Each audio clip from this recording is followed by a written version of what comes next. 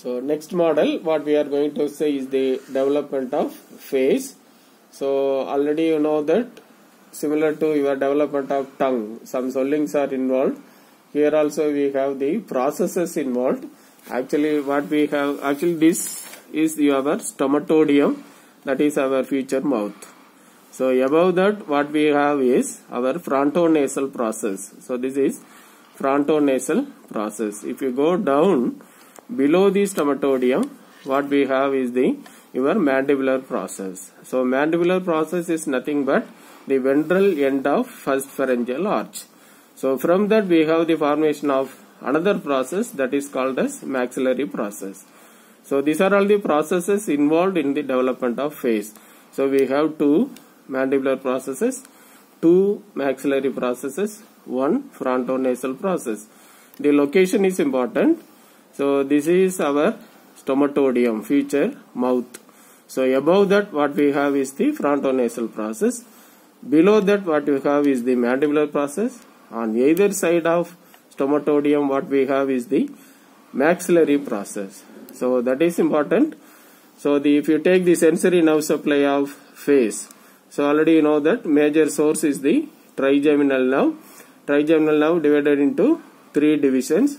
Ophthalmic, maxillary and mandibular. That you have to correlate here. Whatever part of the face derived from frontonasal process will be supplied by ophthalmic division of trigeminal nerve. Whatever derived from maxillary process will be supplied by your maxillary division of trigeminal nerve. Whatever derived from mandibular process will be supplied by mandibular division of trigeminal nerve. So that you should be able to correlate. Now first we will see what happens to frontonasal process. So in the frontonasal process on either end you will be having formation of a pit that is called as nasal pit. So like that on either side we will be having formation of nasal pit. So the formation of nasal pit leads to division of your frontonasal process. What you have on the medial side is called as medial nasal process.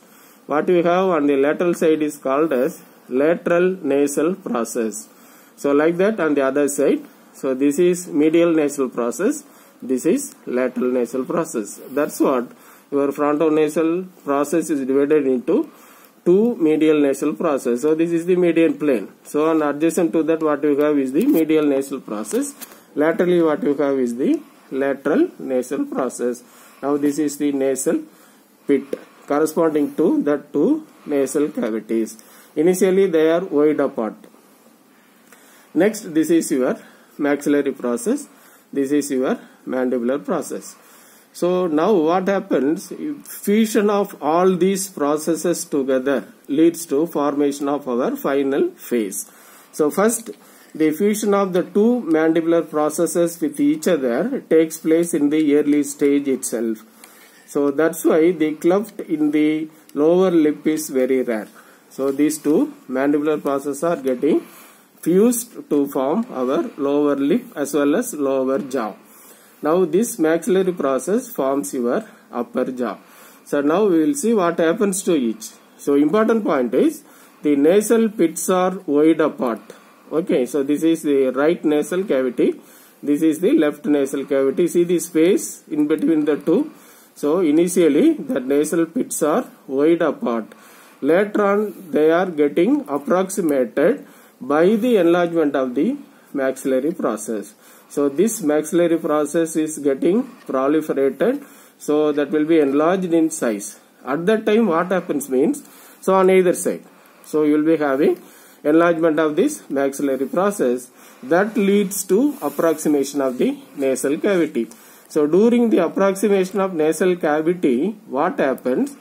These two medial nasal processes are getting fused. So these two are getting fused to form the central part of the upper lip that is philtrum. So already you know that in the center part of the upper lip you have a depression. That depression is called as philtrum.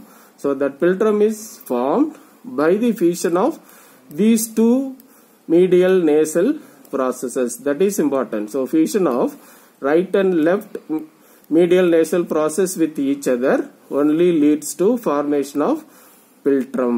So if there is any defect in this fusion of these two, you will be having cleft in the site of philtrum. So that is called as median cleft. Okay, so that is important. So these two medial nasal processes are getting fused during the proliferation of our maxillary process. So that is the development of center part of the upper lip. Now if you come to the lateral part of the upper lip, that is formed by the fusion of maxillary process with the medial nasal process. So these two are getting fused to form the lateral part of the upper lip. Are you clear? So if you take that your development of central part of the upper lip that is formed by the fusion of these two. These two means right and left medial nasal processes. Okay. Now if you come to the lateral part of upper lip that is formed by the fusion of medial nasal process with this maxillary process. Okay. So that is the development of lateral part of the upper lip. Now what happens to this lateral nasal process? So this lateral nasal process forms our ala of the nose. Okay, so what is involved in the development of upper lip means the fusion of these two medial nasal process with each other, then fusion of your medial nasal process with maxillary process. Okay, so that's why if there is any defect in the fusion of this medial nasal process with maxillary process, you will be having cleft in the lateral part of upper lip. So that is called as lateral cleft. So already I told you will be having cleft in the site of philtrum that is median cleft. So this is lateral cleft. So what you have to know is how that defects are formed. That is important. So failure of fusion of these two medial nasal process with each other leads to defect in the philtrum. So that is called as median cleft. Next cleft is in the lateral part. Lateral part of upper lip is formed by the fusion of medial nasal process with your maxillary process. Okay, so if there is any defect in this fusion that leads to cleft in the lateral part that is called as lateral cleft. Okay, so now important point. This maxillary process also fuses with your mandibular process. So initially if you see the stomatodeum, the mouth, uh, otherwise feature mouth, it is wider so later on it is getting reduced in size by the fusion of maxillary process with your mandibular process. So that is also important. So if there is any defect in the fusion of maxillary process with the mandibular process that leads to macrostomia that is wide mouth. So maxillary process fuses with your medial nasal process as well as your mandibular process.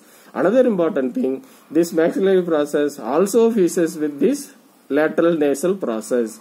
So if there is any defect here the failure of fusion of your lateral nasal process with the maxillary process, that leads to a cleft called as oblique facial cleft. So oblique facial cleft. So what is the reason for that? Failure of fusion of lateral nasal process with your maxillary process. So all these things are important. So how the cleft is formed. Okay, so that's why the development of face is important. We used to ask about the developmental anomalies of face. So at that time you should be able to explain all these things. Next here median cleft. So as I told already the mandibular processes are getting fused in the early stage itself. That's why the cleft in the lower lip is very very rare. Another reason only these two processes are involved. But in the development of upper lip we are having fusion of your medial nasal process, maxillary process, lateral nasal process like that. We have involvement of more than one processes. That's why the cleft in the upper lip is more common when compared to the cleft in the lower lip. So if the model is given you should be able to tell all these things. No point in simply identifying these structures. This is medial nasal process, this is nasal pit, this is your lateral nasal pit. That's what you people used to tell. So you should be able to explain all these things. You have to understand the what is the reason for the cleft in the upper lip as well as lower lip, what are the various types.